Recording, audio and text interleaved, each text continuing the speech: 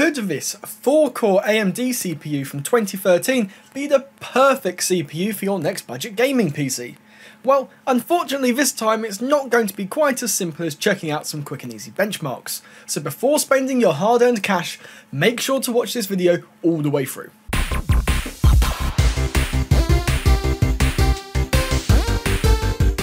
Believe it or not, APUs haven't actually been around forever. In fact, the first APUs were released by AMD in just 2011, just two years before the A10-6800K was released as part of the Richland CPU lineup. The A10-6800K is a 4.1GHz, 32nm, 4-core, 4-thread... Wait, hang on, hang on. Did I say 4-core? Task Manager says we only have 2 cores, and CPU Z says we have 4. What on earth is going on here? Is this a dual core or a quad core? Well, to answer that, we need to look at exactly how a multi-core CPU works. The die of the CPU itself is split into multiple sections, which each perform different tasks. Let's take a look at the block diagram for Piledriver CPUs like the A10-6800K. All CPUs ever work by first fetching an instruction, decoding it, and finally executing it. It's a very simplified view, but that's the overall process. The A10-6800K is no exception. First fetching an instruction, and then decoding it here, in the instruction decoder.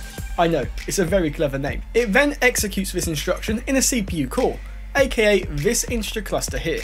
Often these instructions will require maths, such as addition or multiplication, and this is done here in the FPU, or otherwise known as floating point unit. But what exactly happens if integer cluster 1 and integer cluster 2 both try to execute an instruction in the FPU at the same time? Well, the FPU can only handle one instruction at a time, since it has a single dedicated scheduler, and that means that the core will have to wait, meaning wasted time and wasted clock cycles, and therefore means that these cores are non-independent, unlike in Intel CPUs of the day, which had a dedicated FPU per core, making them completely non-reliant and completely independent. So what does all of this actually mean for you then? Well, it means that Piledriver and Bulldozer CPUs and APUs like the A10-6800 do indeed have four true cores, as advertised in CPU-Z and by AMD.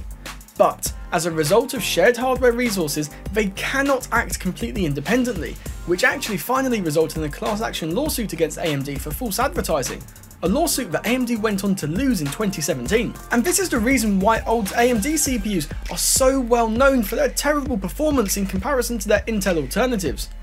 But it's really important to note here that AMD actually managed to correct this issue with AMD Ryzen, and it's no longer a thing that gamers need to worry about. Okay, but that still doesn't answer the question. Why is there this difference between Task Manager and CPU-Z?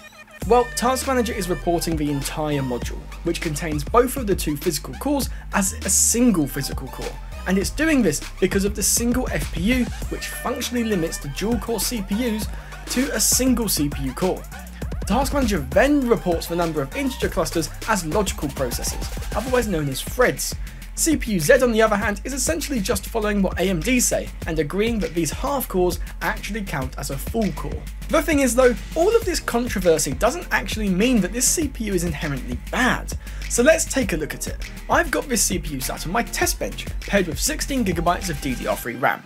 Interestingly though, the A10-6800K was one of the first CPUs in the consumer line to support 2133MHz DDR3 RAM, which actually, according to AMD, could potentially provide performance increases of up to 10% in comparison to 1600MHz RAM but since I don't have any 2133MHz RAM, we'll be using 16GB of 1600MHz RAM instead. And just like Ryzen processors, the Richland CPU family benefits significantly from these much higher RAM speeds, so potentially we'll be looking at doing some overclocking in the future as well.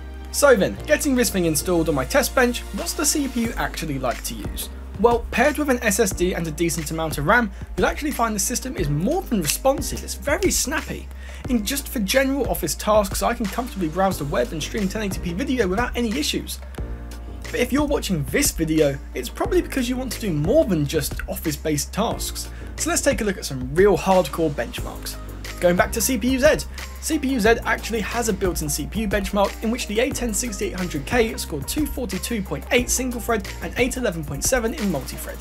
we then scored 335 in the world's most excruciatingly painful version of Cinebench R23, it took a whopping 25 minutes to complete. So going onwards, we're going to be using a slightly older version of Cinebench which doesn't take anywhere near as long to complete.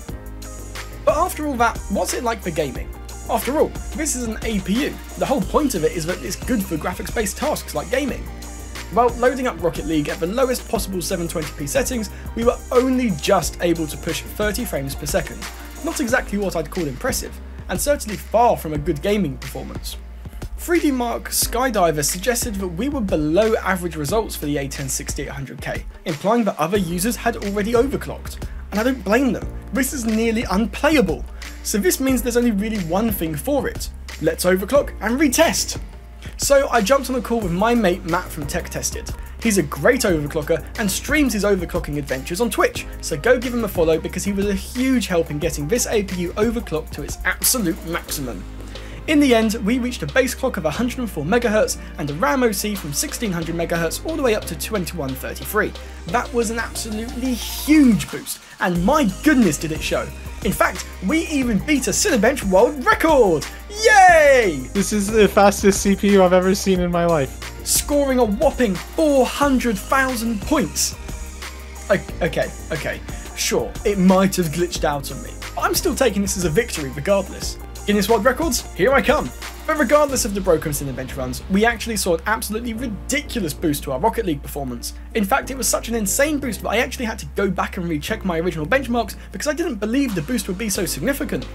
We went from the lowest possible settings at 720p at 30 frames per second to almost 70 frames per second with the exact same settings. That's an absolutely mental increase.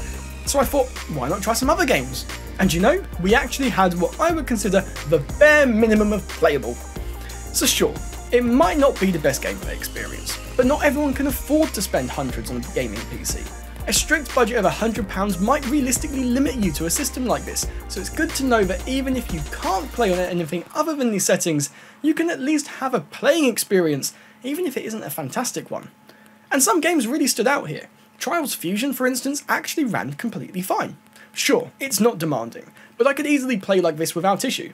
In fact, I completely forgot I was benchmarking whilst playing this game. That's quite possibly the best way to tell that a CPU or GPU is actually playing completely fine and you're going to have a really nice experience with it. I forgot I was benchmarking it, that tells you more than any numbers ever could. In fact, if you're planning on playing simple games like that, and especially if they're on the older side, you know, example off the top of my head, Age of Empires, you don't even need a graphics card. This will play it just fine. But what if you can actually afford a graphics card? There are plenty of you guys watching this video out there right now that are shopping for a budget gaming PC, so you're looking at this CPU and thinking, ooh, maybe I'll pair that with a graphics card. Well for you guys, I wanted to answer whether or not you should buy this APU and pair it with a graphics card, or whether you should buy a comparable Intel CPU like the i3-3220 and pair that with a GPU. After all, the i3-3220 is cheaper despite its similar compute performance. So which should you buy? Well, a side-by-side -side comparison is actually quite revealing. You might think that the Intel CPU, since it's cheaper and lacks a powerful graphics core, would perform much worse. But in fact, performance is very similar, and both CPUs were able to take the performance crown in different titles. So why would you buy the Intel CPU? Well, for starters, a cheaper solution with more readily available hardware. That's kind of a big deal at the moment. Not to mention a clearer and easier upgrade path. Okay, okay, so those are some pretty convincing arguments, right? So then why would you buy the A10 6800K? Well, that's not quite so easy of an argument to make. The upgrade path is near non-existent for this poor CPU, and the availability of performance hardware to improve overclocks is hard to come by, and therefore relatively expensive. But there are still reasons to buy this APU. If you're not going to be investing in the GPU, the A10 6800K will beat out the equivalent Intel CPU's integrated graphics any single day of the week. The A10 6800K is also fully overclockable and supports higher frequency memory, which A is really fun to overclock and progress with, and B means that if you're stuck with the CPU as an option, you've got a lot of headroom to squeeze as much performance as possible out of it. So all in all, do I recommend buying the A10 6800K? To be honest, no. For 9 out of 10 people, an equivalent priced Intel CPU would be a far better option when you consider the overinflated price of the A10 6800K means that you could potentially buy an i7 2600, which is a far better CPU for the exact same price. Even though it doesn't have overclocking support, which was a blast to play around with on this CPU, you'd still have a better out-of-the-box experience. But with that being said, this CPU was an absolute blast to play around with. It's surprisingly capable, especially when overclocked, but unless your use case is really specific, or you intend on gaming without a graphics card, I can't really see much of a reason to buy this CPU. But if you guys did enjoy this video, I would really appreciate if you hit like and got subscribed. It's a bit more of an interesting one. I can't, I don't remember if I've ever actually covered an APU before, so this could well be my first APU review video. So if you did enjoy it, then be sure to let me know in the comment section down below. And for the next time I review an APU, be sure to leave some constructive criticism as well, because I'm always looking to improve my videos. So if there's something that I didn't cover in this video, that you guys think I should have, then I'd be really happy if you could let me know kindly, let me know kindly in the comments down below. I'd really appreciate that feedback, guys. Okay, well, without any further titting about, I'm going to get off and uh, get back to work because I've just filmed this on my lunch break. And uh, in theory, this video should go live tomorrow. Yeah, I'm cutting it tight again. Sorry.